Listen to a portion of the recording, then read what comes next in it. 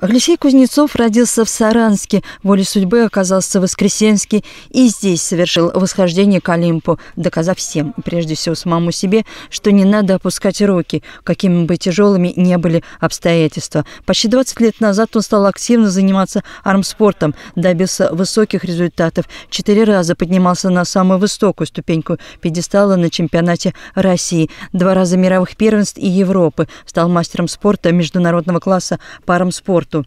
С 2007 года Алексей Кузнецов стал заниматься легкой атлетикой, метать копье, диск, толкать ядро под руководством тренера, преподавателя Альберта Калина. Через год, в 2008 году, в Пекине занял шестое место на Паралимпиаде, а в 2012 у него серебро Паралимпийских игр в Лондоне. Он двукратный чемпион мира, трехкратный чемпион Европы, рекордсмен мира в метании копья, многократный чемпион и рекордсмен России. 2011 2015 году Алексею Кузнецову присвоено звание заслуженного мастера спорта Российской Федерации.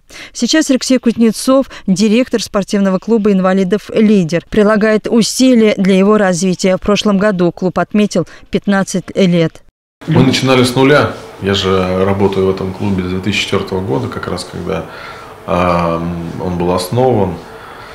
И здесь сначала было общество инвалидов, то есть, да, организация, которая работает, ну, так, на общественных началах, можно так сказать. И у этого здания, то есть в этом здании вообще сначала ничего не было. Не было ни одного тренажера, не было ни стола для игры в теннис и так далее. То есть ничего не было. Поэтому вот за 13, а теперь уже 14 лет э, путь пройден большой. И это сейчас так кажется, что есть и тренажеры, есть и площадка для метаний, толканий, есть замечательная открытая площадка волейбольная и воркаут. Все это вот постепенно-постепенно делали.